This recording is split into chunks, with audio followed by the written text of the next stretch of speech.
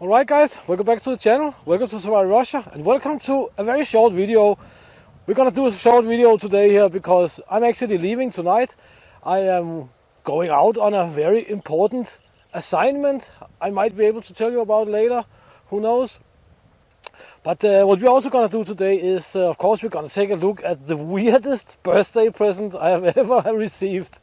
I got it from Slava, my engineer friend, and uh, yeah, it's a weird present. I said I'm heading out of here tonight, so I'm a little bit busy gathering all my stuff, so everything's gonna be on one camera and uh, one moron here and so on and so on, and in one location. But uh, yeah, it should take about a week's time or something. We will see, and uh, then we'll get back, and uh, most likely the weather will be a little bit better because it's been horrible lately. But thank you very much to you guys who have supported the, the mysterious project. I have not really uh, announced yet what is, but uh, especially two guys. Both their names starts with a D. You, you have been helping out the project a lot, and uh, that is super awesome because that's something like that what we need. so anyway to speed up the project here. But uh, I've been guys in Norway and whatever, right, who's been supporting. So uh, thank you very much for that, guys. I most likely announce the project when I come back because uh, my father taught me that uh, you should never sell the skin of the bear before the bear has been shot, sort of like something like that along those lines. And uh, that saying have uh, proved itself right many a times. But when i come back i will of course announce the project. It's gonna be pretty darn awesome. But let's take a look at the weird birthday present here. Here we have it. A dp12 i can tell you that much that uh, this is right out of the red army. So uh, let's open it up and see what it is. I gave slava as a birthday present a really nice DeWalt toolbox without tools, but it was quite expensive and quite nice. So he came and uh, on my birthday and said now he has a box for me. Let's see what's in it here. As I said, DP12. This is right out of the Red Army. Da -da -da! This is actually a Geiger counter straight out of the Red Army everything is there. They are really, really hard to come by now, actually. We have the manuals, opisanie i instrukcja, SSSR. Do we have a year in this book here?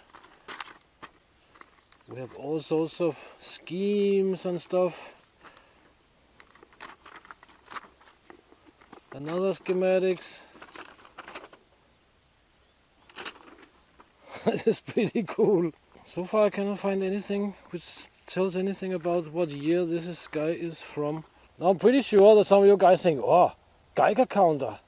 Maybe it is radioactive itself.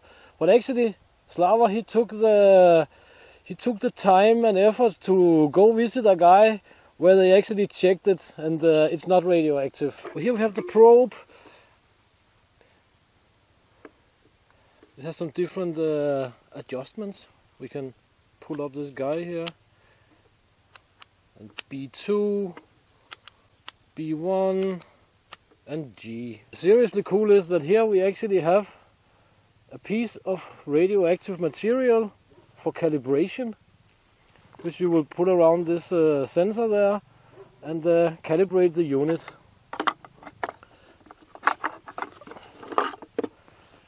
Here we have some kind of a Kriplenia bracket. It's most likely for holding this guy in place. Using this stick here if it has to stand and measure something manually. Or not manually, but uh, out in the field. But it opens up like this. It's, it's brand new. Of course it's old, but it's brand new. Ah, 1966. It's from 1966. How cool is that? Instructions. And uh, here we have some, uh, let's say here we have a testament to how battery technology have been developing over the years. Because here we have the battery compartment. That's a quite big battery. but they changed it out with a Nokia cell phone battery, 3.7 volts, 8 watt amperes, but uh, unfortunately it has to be charged. I don't have anything radioactive here to play around with anyway. But uh, we actually have something we can use it for because we have, uh, me and Slava and some of the guys, we have planned to go to a, a location here during the summer. It's a, uh, yeah, it's a location spun in myth, or what you can say, covered in myth. We have a kind of a lake in here, it's completely round, it's very, very, very deep, and no banks, so to speak. It's just like a big hole. Some say it's uh, from a nuclear test blast, which I doubt. And others say it's from a meteorite, which I kind of believe. And Slava, he thinks that he have uh, found some evidence on the internet. He researched all sorts of stuff that uh, it actually should be from a from a meteorite. But it's of course in the middle of the forest, super really difficult to reach and so on. But uh, we have a plan to go try and get there either on motorbikes or in the gator or both at some point during the summer here. So guys, that was it for today. Check the links in the description. Please consider supporting the channel and uh, all that good stuff. There will be there's uh, merchandise available and so on, so on, so. So uh, yeah, until next time, get out and train, get it done, do something awesome, and uh, see you in the next video.